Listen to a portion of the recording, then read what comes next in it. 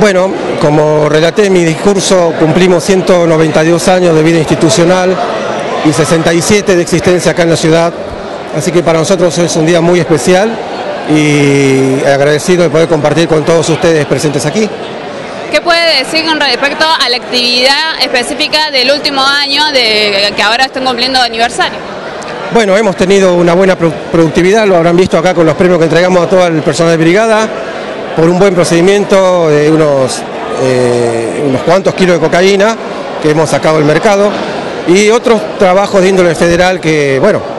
a veces no se da mucha publicidad porque continúa su, su tramitación y su investigación, pero estamos trabajando, estamos bien. Bueno, realmente es un orgullo participar por primera vez en este mandato de la, es un aniversario nuevo, nuevo de la Policía Federal eh, y en representación de la Defensoría del Pueblo hemos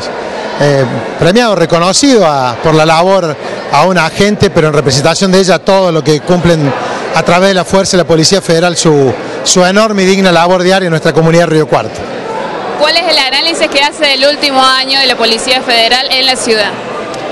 Creo que eh, la función y el desafío de la Policía Federal, entre otras diarias que cumplen la lucha contra el narcotráfico, eh, es una lucha que sin lugar a dudas eh, es un flagelo que afecta a toda la comunidad y el combatirlo eh, es una de las misiones esenciales y creo que dentro de lo que es el tema de seguridad es un tema esencial no solo por nuestro presente sino por lo que significa el futuro. Entonces creo que comunidad y como en representación del de la ciudadanía de Río Cuarto como defensor del pueblo, no tenemos más que no solo reconocerlo este día, sino que apoyarlo y darle todo el aliento en la labor diaria que cumplen, porque creo que tanto la Policía Federal como la Policía de la Provincia de Córdoba, que está trabajando con esto que ha tomado en boga en nuestra comunidad,